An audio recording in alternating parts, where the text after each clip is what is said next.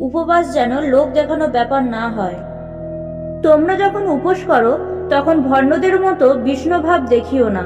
তারা যে উপোস করছে, সেটা লোকেদের দেখাবার জন্যই তো তারা মুখখানা অমন শুকনো করে রাখে।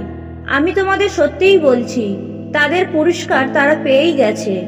যখন তুমি উপোস করো, তুমি বরং তখন মাথায় তেল মেখো, চোখ মুখ ধুও যাতে তুমি যে উপোস করছ, মানুষ যেন তা জানতে না পারে। যেন জানতে পারেন শুধু তোমার পিতা। আড়ালে থাকেন যিনি। তাহলে তোমার পিতা, যিনি গোপন সবকিছু দেখতে পান, তিনি তোমাকে পুরস্কৃত করবেন। তোমরা নিজেদের জন্য এই পৃথিবীতে ধন সম্পদ সঞ্চয় করো না, কেননা এখানে পোকা আর মরচে সবকিছু নষ্টই করে দেয়। এখানে চোর এসে শীত কেটে চুরি করে।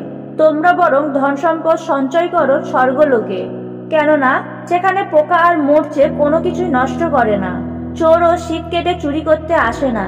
যেখানে তোমার ধন সম্পদ, তোমার মনটাও তো সেখানে পড়ে থাকবেই। এই যে দেহ, চোখটা যেন তার প্রদীপেরই মতো। তাই তোমার চোখ যদি সুস্থ থাকে, তাহলে তোমার গোটা দেহ আলোয় ভরে থাকবে। কিন্তু তোমার চোখটা যদি খারাপ হয়, তাহলে তোমার গোটা দেহটা অন্ধকারে ডুবে থাকবে। কাজেই তোমার অন্তরে যে আলো রয়েছে, অন্ধকারেই যদি সেই আলো হয়, তাহলে কি দারুণ সেই অন্ধকার। অর্থ পূজা ও ঈশ্বর পূজা একই সঙ্গে চলে না। কেউ কখনো একসঙ্গে দুই মনিবের সেবা করতে পারে না।